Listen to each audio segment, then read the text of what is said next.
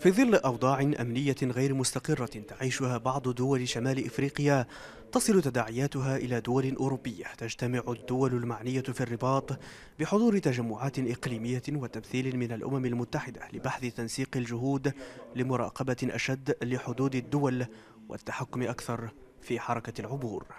من ناحية الأمن الأمن الشخصي والأمن الاجتماعي من أجل النهوض بالمنطقة ومن أجل محاربة جميع أنواع التهريب. ونحن نعرف أن المنطقة تتميز مع الأسف بأنواع تهريب جد كثيرة منها تهريب المخدرات تهريب الأشخاص تهريب السلع المؤتمر الوزاري الثاني لأمن الحدود يسعى للخروج بقرارات وتوصيات من شأنها الدفع في اتجاه إقرار تعاون بين الدول الإفريقية المعنية بالمشاكل الأمنية في الحدود بشكل مباشر والدول الغربية خاصة الأوروبية. الحريصة على مصالحها الكبيرة في المنطقة.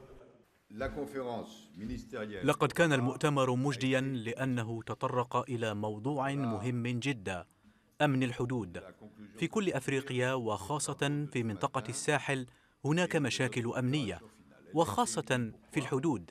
لذلك من الضروري أن تتعامل كل الدول التي شاركت في المؤتمر مع تلك المشكلة ومنها دول المجتمع الدولي.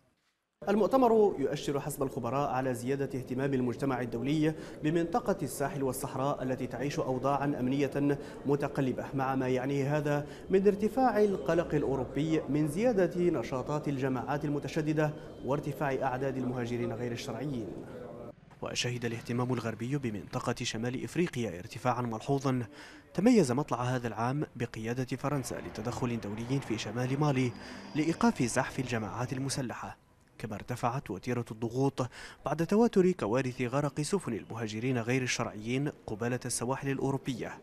ما دفع هذه الدول لمحاولة إيجاد حلول للظاهرة في مهدها. يوسف ياسين سكاي نيوز عربية.